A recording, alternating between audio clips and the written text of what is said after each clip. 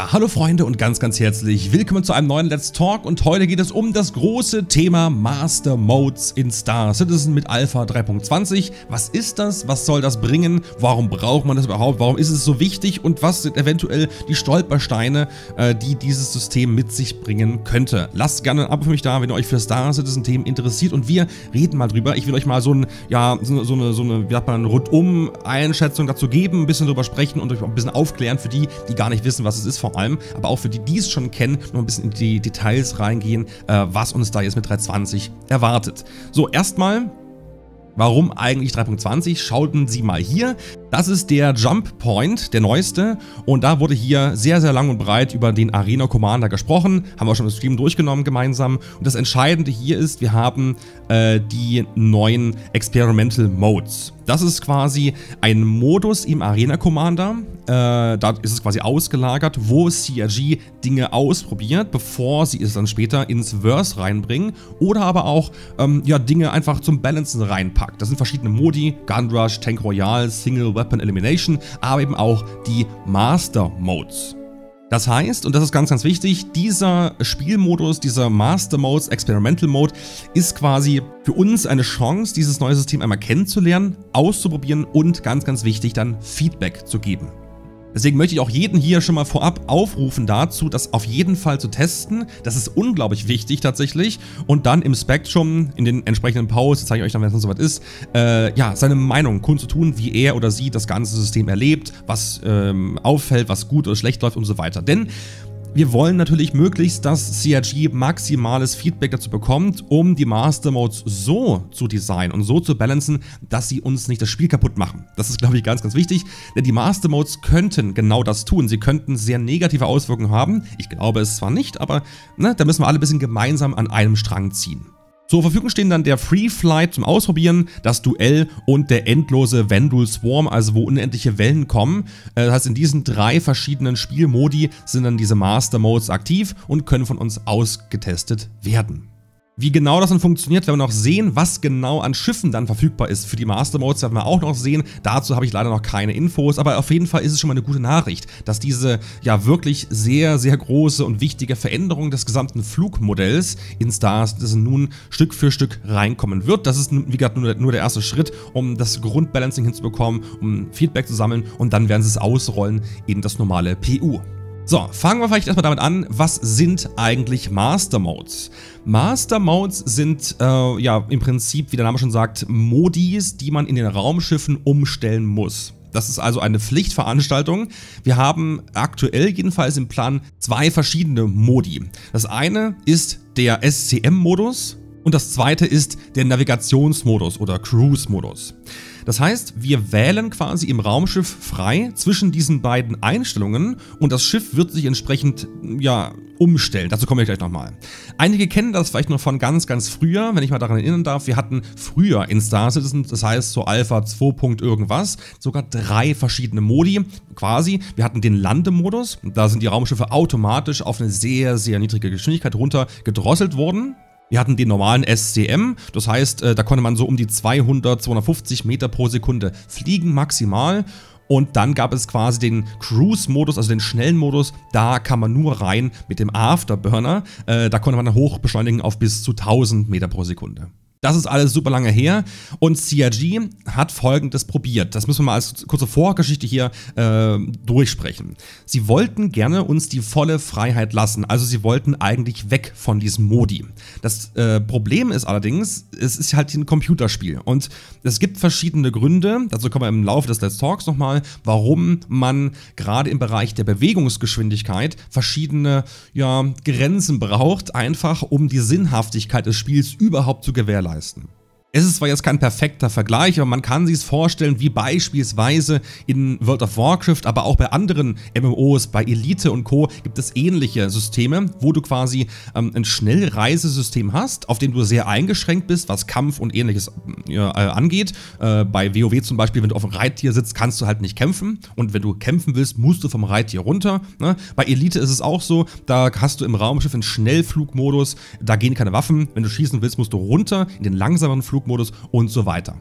Ja, und CRG hat eben probiert, davon wegzukommen, wie gesagt, und wollten gerne uns die volle Freiheit lassen und das total dynamisch sozusagen balancen. Und naja, was soll ich sagen, sie sind damit krachend äh, gescheitert. Denn Tatsache ist, im aktuellen Spiel und noch die ganzen letzten Jahre ist es nun mal so, dass diese volle Bewegungsfreiheit, also quasi, dass wir permanent, auch im Kampf, beliebige Geschwindigkeiten erreichen können, ähm, das sorgt dafür, dass die Kämpfe in Star Citizen komplett Banane sind und vor allem auch, dass man jederzeit einfach flüchten kann und der Gegner im Prinzip kaum noch eine Chance hat, irgendwas dagegen zu unternehmen. Sie haben alles probiert, sie haben versucht, die Schilde zu schwächen, während man quasi hoch äh, in der Geschwindigkeit ist. Sie haben das Aiming verschlechtert, wenn man schnell fliegt und verschiedene Sachen ausprobiert, aber am Ende kommt man immer wieder aufs gleiche Ergebnis. Das Einzige, was wirklich relevant ist, ist das Thema Geschwindigkeit. Wenn man im Kampf ist und je höher man beschleunigen kann, je krasser man ausweichen kann, ja, desto besser ist man letztendlich auch im äh, gesamten Kampfgeschehen. Es spielt quasi keine Rolle, ob man jetzt äh, gut treffen kann oder nicht. Es reicht aus, wenn ich ab und zu mal treffe. Hauptsache, ich werde nicht getroffen währenddessen. Ne? Dann dauert halt der Kampf länger, aber ich gewinne ihn trotzdem. Geschwindigkeit ist das A und O im PvP, aber auch generell in Dogfights.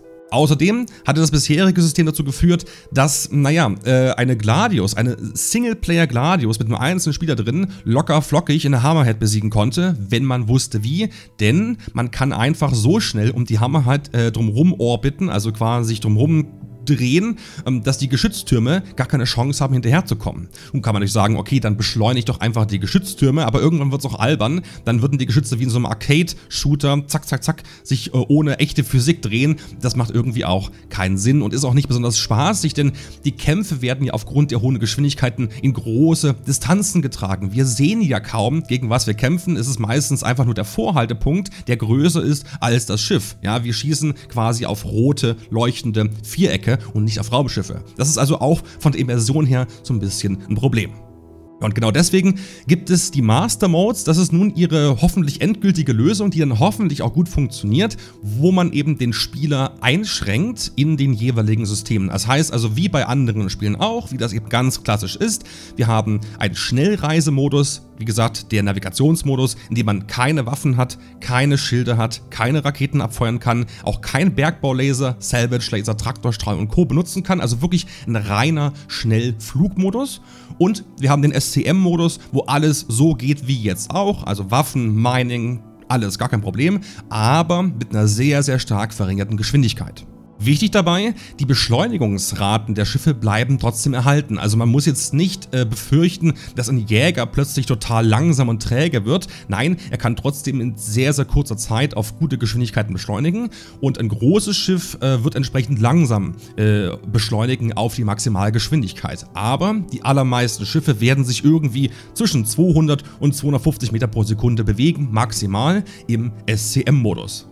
Hinzu kommt dann auch der Afterburner, der ebenfalls deutlich gereworked wird, denn der Afterburner wird es wirklich erlauben, dass wir über diese SCM-Speed-Grenze hinausgehen können. Also wir sind tatsächlich aufgrund des Afterburners in der Lage, trotz SCM Maximalspeed von sagen wir mal 250 auf 300 oder 400 zu kommen. Aber das ist dann stark eingeschränkt, weil der Afterburner, der wird entsprechend auch gerebalanced. Es wird also schneller sich verbrauchen, es wird sich langsamer aufladen, je nachdem, was es für ein Schiff ist. Das heißt aber auch, dass Jäger zum Beispiel äh, wahrscheinlich deutlich besser darin sind, diesen Afterburner für solche Manöver zu benutzen, als eine Cut Black, ein Trading-Schiff oder Mining-Schiff allgemein.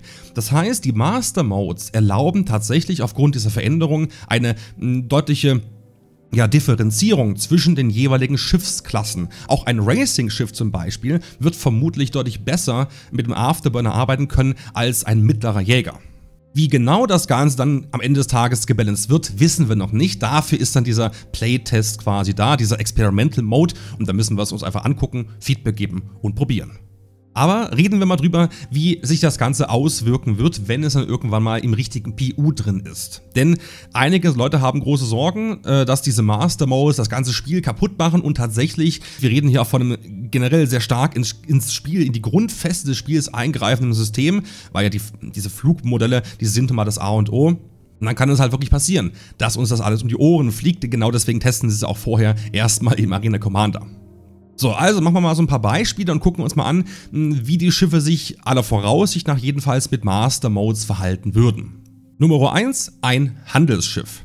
Ein Handelsschiff braucht normalerweise keine Waffen, wenn es handeln will und die Schilde sind zwar nicht unwichtig, aber wenn man nicht angegriffen wird, sind die auch im Grunde genommen egal.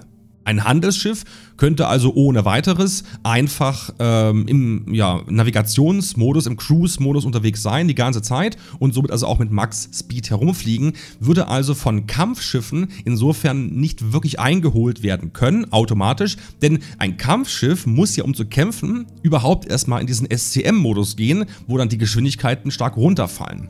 Jetzt kann es aber sein, dass sie genau deswegen die Maximalgeschwindigkeiten von großen Schiffen runtersetzen oder die Maximalgeschwindigkeiten auch im SCM-Speed von leichten Jägern und Kampfschiffen raufsetzen wiederum, um dieses Problem zu lösen. Ob man beispielsweise auch im Cruise-Modus landen kann, ist sehr fraglich. Man weiß es nicht genau, müssen wir mal sehen. Kann also sein, äh, dass wenn man andocken oder landen will, spätestens dann also in den äh, SCM-Modus switchen muss sonst kommt man halt gar nicht zum Stillstand. Außerdem würden dann natürlich Systeme wie ein Quantum Jammer, EMPs und Co. oder auch irgendwelche neuen Arten von Waffen, also irgendwelche äh, quantum-sensitiven Raketen beispielsweise, die dich irgendwie aus dem Quantum Drive rausziehen oder aus dem äh, aus diesem äh, Speed-Modus rausholen, Triebwerke beschädigen können und so weiter, immer interessanter werden. Also das Kampfsystem muss folgerichtig nach den Master Modes deutlich ähm, differenziert werden, deutlich ausgebaut werden, um für alles so quasi immer einen Konter zu haben. Also du brauchst für jedes äh, Pro immer ein Contra, sonst kann man ja irgendwann Schiffe nicht mehr besiegen oder nur noch besiegen. Das ist, ne, muss ein bisschen aufpassen. So, aber prinzipiell beim Traden würde ich erstmal sagen, sehe ich jetzt keine allzu großen Probleme. Natürlich kann es dann sein, wenn man landet, dann äh, würden halt Piraten kommen. Äh, vielleicht, ja, oder wenn man irgendwo andockt oder irgendwo lootet, irgendwelche Kisten sich schnappt, dann muss man ja stehen bleiben. Und dann kommen entsprechend NPCs oder Spieler an in Kampfschiffen. Ja, ja, und dann ist es mit dem Flüchten so eine Sache, weil wir haben ein Problem bei diesen Master Modes, es dauert eine gewisse Zeit umzuschalten. Also, bin ich im SCM-Modus und will in den Cruise-Modus wechseln, dann dauert das je nach Schiff 10 Sekunden, 20 Sekunden, 30 Sekunden, das wissen wir nicht genau, muss man auch mal abwarten, das ist wieder so eine Balancing-Frage. Es dauert auf jeden Fall eine gewisse Zeit. Das gilt zwar auch für einen Angreifer, das heißt aber, ich kann erst dann in den Quantum Drive und wegfliegen, wenn der, dieser Cruise-Modus quasi voll aufgeladen ist. Und das wäre sehr, sehr logisch, dass eben größere Schiffe da eine ganze Weile brauchen. Das Besondere hier ist, sie könnten es dann zukünftig abhängig machen von der Art der Komponenten. Beispielsweise haben wir einen militärischen Quantum Drive, einen industriellen Quantum Drive, einen zivilen Quantum Drive und so weiter. Es wäre also durchaus logisch zu sagen, ein militärischer Quantum Drive, der kann wesentlich schneller schon äh, funktionieren beim Umschalten als ein industrieller, der viel langsamer ist, dafür viel spritsparender eventuell sein könnte. Wir würden also aller Voraussicht nach, das folgt für mich aus dem Master Mode jedenfalls, eine deutliche ja, Verbesserung und auch hier wieder Differenzierung der einzelnen Komponenten, die wir in die Schiffe einbauen können, äh, sehen, was ich durchaus begrüße, denn das kann nicht schaden, die sind aktuell sehr ähnlich oder zumindest sagt man äh, in den meisten Fällen, komm, ich baue den schnellsten Quantum Drive ein, aber wenn dann mehr Stats hinzukommen, mehr Vielfalt reinkommt, dann gibt es da auch ein bisschen mehr Spielraum für uns Spieler, das ganze System für uns anzupassen. Worauf will ich hinaus? Ich muss mir mit den Master Modes und dem neuen Balancing dann eine Frage stellen. Und die Frage lautet, wo will ich eigentlich hin? Gehe ich in irgendein total sicheres System, dann kann ich ja auch spritsparend oder ja, generell äh, bisschen unsicherer unterwegs sein, weil da ist halt nicht so viel Gefahr, aller Voraussicht nach. Ich brauche auch wahrscheinlich keine Eskorte. Hm, trade ich aber in irgendeiner Piratensektion oder im Pyro-System oder sonst wo, dann brauche ich schon vielleicht bessere oder andere Komponenten, die nicht so spritsparend oder so günstig sind, dafür aber mir die Möglichkeiten geben, schnell zu flüchten oder mich besser auszurüsten generell für solche Kampfgeschichten oder ich brauche sogar eine Eskorte, die mich dann entsprechend schützt, den Gegner also ablenkt, dass ich wegfliegen kann. Das alles wird darauf dann letztendlich auch aufbauen. Momentan ist es ja so, du brauchst eigentlich keinen. Äh, sofern die Gegner jetzt nicht zufällig einen Quantum Jammer dabei haben, kannst du einfach easy wegspringen. Ne? Jeder, der den Hercules C2 hat, der lacht sich ja kaputt, wenn da irgendwie zwei, drei Jäger kommen. Juckt ja keinen. Ne? Da gehst du einfach schnell in Quantum Drive und fliegst davon. Die kommen dir niemals hinterher. Äh, das ist dann halt vorbei. Weil bis die Hercules C2 umgeschalten hat in Quantum-Modus, sind eventuell schon die Triebwerke kaputt. Und wir dürfen noch was anderes Wichtiges nicht vergessen. Wir bekommen ja das physikalische Schadensmodell rein im Laufe des Jahres oder nächsten Jahres spätestens, wo naja, eben dann Triebwerke richtig kaputt geschossen werden können. Wir können sie ja jetzt schon targeten als Sub-Target, aber das gibt es dann noch ein bisschen auf andere Art und Weise. Man kann sogar Komponenten targeten, also man könnte den Quantum Drive beschädigen, bevor das Schiff wegfliegt und so weiter. Das heißt, das Thema Quantum Jamming ist aktuell natürlich wichtig für Piraten. Später mit Master Modes könnte man auch ohne Quantum Jamming äh, Piraterie machen. Das ist ja auch nicht gerade unwichtig, weil man kann auch nicht erwarten, dass jetzt fünf oder sechs Piraten zusammen gegen einen einzelnen Spieler kämpfen müssen, um den festzuhalten. Das muss schon vernünftig gebalanced sein. Und gleichzeitig müssen sie natürlich auch dann die Handelspreise beim Trading verbessern, die Mengen verbessern, dass der Trader mehr Geld verdient und sich dann noch eine Eskorte leisten kann. Aber ihr seht schon, da gibt es einige Stolpersteine auf dem Weg, die sie noch auf, äh, ja, äh, ausräumen müssen.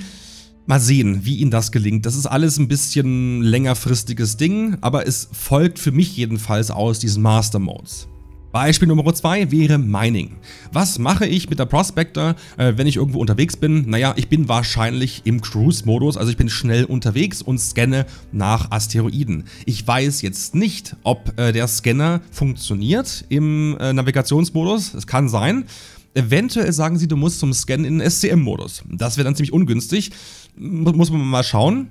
Aber ich schätze mal, der Scanner wird funktionieren. Aber was auf jeden Fall nicht funktionieren wird im Cruise-Modus, ist der Mining-Laser. Das heißt, jemand mit der Prospector, der wäre dann quasi in dieser kleinen Bredouille, oder mit der Maul auch, in der Bredouille, sich zu entscheiden. Äh, das heißt, er sucht quasi Steine, findet irgendwo ein cooles Cluster oder so und dann muss er, um das abzubauen, in den SCM switchen. Und wenn er das tut, dann ist er auf jeden Fall erstmal dort so ein bisschen eingeschränkt. Denn wenn dann Piraten kommen, dann würde er nicht einfach wegfliegen können. Er müsste dann erstmal umschalten, das dauert dann 10, 20 Sekunden, bis er überhaupt fliegen kann, richtig schnell dann wegdüsen mit dem Quantum Drive, dann ist es oft schon zu spät. Ne? Äh, das heißt, der Prospector oder Mall-Pilot, der muss vorher die Umgebung ein bisschen genauer abscannen und ein bisschen genauer gucken, sind da irgendwelche Feinde unterwegs, die ich vielleicht so nicht einfach sehen kann. Er muss sich absichern. Das ist eben der Punkt, das brauche ich aktuell quasi gar nicht machen. Das wiederum würde das Stealth-Gameplay für die Piratenseite deutlich interessanter machen. Je nachdem, wo man eben ist, könnte man sagen, okay, hier sind viele Asteroiden, hier sind viele Hindernisse im Weg. Ich tarne mein Schiff, indem ich die richtigen Komponenten wieder einbaue. Da habe ich vielleicht ein paar andere Nachteile, mache weniger Schaden, halte weniger aus, aber ich habe dafür diese Stealth-Eigenschaften und kann eine selbst aufmerksame Prospector oder Mole täuschen, weil ich mit dem Asteroiden, der da irgendwo rumsteht, quasi verschmelze und indirekt unsichtbar werde.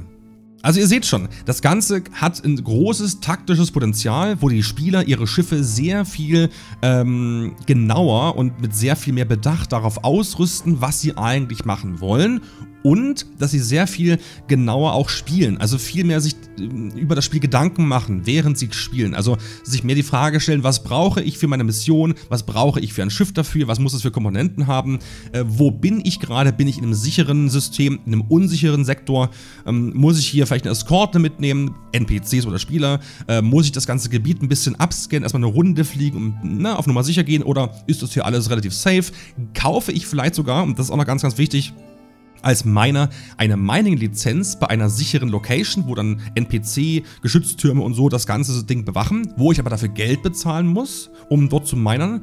Oder äh, minere ich quasi in einem total unsicheren Sektor, wo keine Hilfe ist, dafür habe ich aber nichts bezahlt und kann also ohne Kosten minern. CRG kann also auf diese Weise relativ gut das Ganze ausbalancieren und hat dann die technische Grundlage, um überhaupt das Gameplay dafür zu schaffen, dank diesen Master Modes. Allerdings könnte es auch schief gehen. Wenn sie es äh, nicht ordentlich balancen, dann würden Prospector oder Mole-Piloten vielleicht sogar gar keine Chance mehr haben, irgendwie zu flüchten. Diese Gefahr besteht auf jeden Fall und deswegen ist es auch umso wichtiger, dass man das Ganze im Arena Commander erstmal in Ruhe testet und schaut, wie das Feedback dazu ist. Drittes Beispiel, und ich glaube, das ist der wichtigste Punkt bei den Master Modes, das ist dann der Dogfight. Ich hatte vorhin schon kurz angesprochen, wir haben äh, aktuell extrem schnelle Kämpfe. Die Geschwindigkeiten sind jenseits von Gut und Böse. Man sieht sein Ziel in der Regel gar nicht. Man schießt nur auf einen unsichtbaren Punkt, auf einen Vorhalterpunkt quasi, der da drumherum ist. Und es ist eigentlich, ja, sehr sehr langweilig teilweise. Also man sieht auch gar nicht, wo man drauf schießt, man kann gar nicht richtig einschätzen, wo man hinschießen möchte. Also wir wollen ja ein physisches Schadensmodell. Aktuell mit diesen Distanzen ist ja alles random. Du ballerst ja nur auf irgendwie auf den Jäger äh, und hoffst, dass du triffst. Das muss ja eh anders sein, weil du bist ja später dann gezwungen, wegen dem physischen Schadensmodell, ähm, die richtigen Bereiche am Schiff zu treffen. Also eben zum Beispiel, äh, was weiß ich, den Antrieb oder was weiß ich, äh, irgendwie den Geschützturm treffen, dass der ausgeht und so weiter. Also alles richtig physikalisch. Dazu müssen aber die Distanzen verringert werden und die Kämpfe müssen näher beieinander liegen was dann die Master Modes erlauben. Und äh, ich blende euch hier mal jetzt einen kleinen Dogfight ein, den ich gemacht habe mit dem Eurofighter. Die erste Variante, die ihr hier seht, ist der, ist der quasi aktuelle Zustand vom Spiel, wo ihr äh, relativ schnell sehen könnt, ja, dass da nicht allzu viel äh, geht. Klar, man trifft sich, aber wenn man merkt, dass die Schilde runter sind, dann boostet man einfach in irgendeine Richtung, wartet, bis die Schilde wieder sich aufladen, greift wieder neu an. Das sind ewige Kämpfe, die irgendwie gefühlt kein Ende nehmen und auch wirklich nicht sehr spannend sind, wie ich jedenfalls finde. Auch taktisch quasi keinen wirklichen Mehrwert haben. Was ihr jetzt hier gleich seht, ist die Variante mit Master Modes. Wir haben das mal versucht zu faken, indem wir den Speed Limiter auf ungefähr 220 Meter pro Sekunde gestellt haben. Beide. Und das heißt, das Schiff kann niemals darüber hinausgehen. Ich weiß, ich weiß, der Afterburner fehlt jetzt hier, dass man darüber hinauskommen kann, ist schon richtig, aber wir haben es in unserem Rahmen der Möglichkeiten mal gemacht und ich glaube, man kann direkt den Unterschied sehen, dass es wesentlich erstmal geiler aussieht, dass es wesentlich taktischer auch ist und ich verspreche euch, es fliegt sich auch wesentlich besser, weil du nicht mehr dieses, ja, dieses Getjoste hast, dieses Hin- und Hergerusche. Es ist ein viel taktischeres Kämpfen, man muss viel mehr ausweichen und den Afterburner quasi nicht benutzen, um schnell zu beschleunigen, sondern kurz auszuweichen und sozusagen äh, damit dem Gegner die Schussbahn zu nehmen, vielleicht neben ihn zu kommen, hinter ihn zu kommen. Du musst richtig aus, äh, ja, was aus dem ganzen Kampf quasi machen und äh, das ist alles gar nicht möglich im aktuellen äh, Kampfsystem, außer eben man begrenzt die Geschwindigkeiten. Und hier kann jetzt auch keiner flüchten, einfach so. Äh, das heißt, die Dogfights sind mh, gewissermaßen eine feste Sache, also eine feste Entscheidung. Wenn ich mich also, und das ist glaube ich ganz, ganz wichtiger Punkt auch für die Zukunft von Star Citizen, wenn ich mich als Spieler entscheide, einem Kampf beizutreten, diesen Kampf durchzuführen, dann kann ich ja nicht dann irgendwie einen Rückzieher machen, einfach so und wieder abfliegen, wenn ich merke, ich schaff's nicht. Das ist, es muss schon eine, eine, eine gewisse Endgültigkeit da sein, weil es sonst zu beliebig ist. Ich muss also das Risiko tatsächlich auch haben. Ne? Wenn ich einen Dogfight eingehe, dann gibt es halt einen Gewinner. Und dann ist es eben nicht so, dass einer eine wegfliegt und wegboostet und dann äh, quasi mit einem blauen Auge davonkommt. Das kann zwar auch mal passieren. Ja, bei einem ganz klassischen One-on-One-Dogfight fast nicht möglich äh, in den neuen Master Modes und das finde ich auch richtig so, weil ansonsten, naja, äh, hast du quasi keine Risiken. Und wir wollen ja High Risk und High Reward haben. Ähm, das wird also das System auch generell dann supporten, wenn ich das jedenfalls richtig einschätze. Also fassen wir es mal ein bisschen zusammen. Die Master Modes sind CRGs Lösung für ein sehr altes Problem, nämlich das Speed-Problem. Das äh, haben wir schon seit zig Jahren in, äh, in Star Citizen drin und übrigens auch in Squadron 42 theoretisch, denn auch dort werden die Master Modes eine Rolle spielen. Und sollte, wenn sie es nicht verkacken und wenn sie es ordentlich balancen, das gesamte äh, ja, Kampfsystem, das Flugmodell insgesamt auf ein wesentlich besseres Level heben. Äh, wir haben trotzdem weiterhin massive Unterschiede zwischen den jeweiligen Schiffen. Also es ist keine Gleichmacherei. Es ist auch nicht irgendwie beliebig, sondern es wird sehr fein geguckt, was braucht das Schiff, was ist das Schiff eigentlich? Ist es ein leichter Jäger, ein mittlerer Jäger, ist es ein Handelsschiff, ist es ein Mining-Schiff? Ne? Und dann guckt man sich sehr genau an, was für äh, Komponenten sind drin, welche Stats haben die und wie wirkt sich das dann auf die Master Modes am Ende aus, sodass man also unterm Strich ein viel dedizierteres und viel, ähm, ja, viel, wie sagt man, ja, variableres Balancing hat, um einfach mehr Möglichkeiten zu geben an die Spieler. Und gleichzeitig aber auch einzufordern, hey, wenn ihr euch entscheidet, in den SCM-Modus zu gehen, dann ist das eine wichtige Entscheidung. Dann ist es eben nicht etwas, was ich sofort wieder ändern kann, dann muss ich halt damit erstmal leben und gegebenenfalls Risiko auch eingehen. Das sollte letztendlich zu einem wesentlich besseren Spielerlebnis für alle führen, äh, in der Hoffnung natürlich, dass sie es wie gesagt nicht versauen oder ähm, dass irgendwas durchrutscht, was leider in der Alpha passieren kann. Also ich halte es für durchaus möglich, dass bestimmte Raumschiffe davon einen riesengroßen Nachteil haben könnten, die man, ja, wo, die, die man nicht so einfach fixen kann, weil das noch eine Alpha ist. Das wird man aber alles sehen. Möglicherweise kann man schon einmal eines festhalten, CRG arbeitet intern seit mittlerweile bald zwei Jahren an diesem neuen Flugmodell und auch einem neuen, damit gleichzeitig kommenden Aiming-System, was das Aiming ebenfalls deutlich verbessern sollte und realistischer macht. Das heißt, es ist jetzt nichts, was sie mal schnell hingewurschtelt haben. Das ist eine langwierige ja, Intention gewesen, das reinzubringen und die arbeiten da mit einem größeren Team schon lange dran, insbesondere auf ihr Squadron 42 und insofern bin ich da relativ beruhigt, dass wir hier eine ja schon ganz fortschrittliche Version des Ganzen finden, die schon gut funktioniert und dann werden wir einfach Feedback geben, wenn es im Marina Commander rauskommt. Ich bin sehr gespannt drauf. Ihr könnt mal eure Meinung in die Kommentare schreiben. Habe ich irgendwas Wichtiges vergessen? Ergänzt es gerne oder wie schätzt ihr generell diese Master Modes ein? Schreibt es mal rein. Und dann würde ich sagen, danke fürs Zuschauen und bis zum nächsten Video. 65 degrees Last time I asked I was down on my knees The last time I heard you speak You shot ice into my veins I almost wished I would rain